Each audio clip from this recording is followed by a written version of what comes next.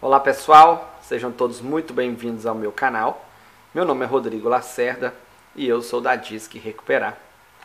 Hoje eu estou aqui com esse notebook. Ele é um notebook da Samsung RV415, tá?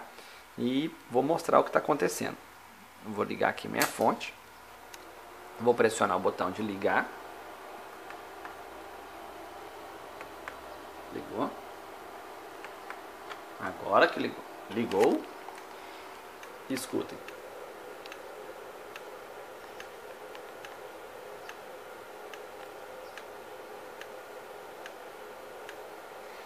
Eu não sei se está dando para vocês ouvirem aí, mas o HD dele está batendo.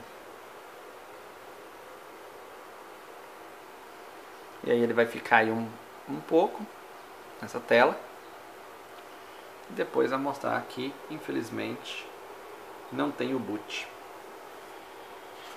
Ok? Então esse é o problema. Bom, o notebook em si está ok, tá? O problema dele é realmente somente o HD. O que, nós vamos fazer? Eu vou tirar o HD aqui e vamos fazer uma análise nesse HD. Bom, tá aí, retirei né, o HD da máquina.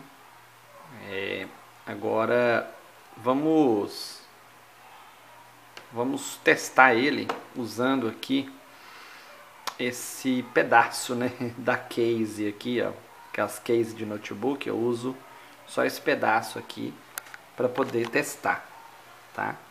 É, vou colocar ali no, na porta USB ó, e nós vamos, deixa eu colocar,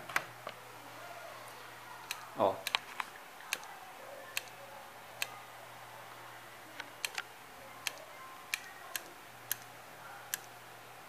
Conseguem ouvir?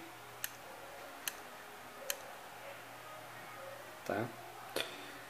E no computador, é, vou mostrar para vocês aqui.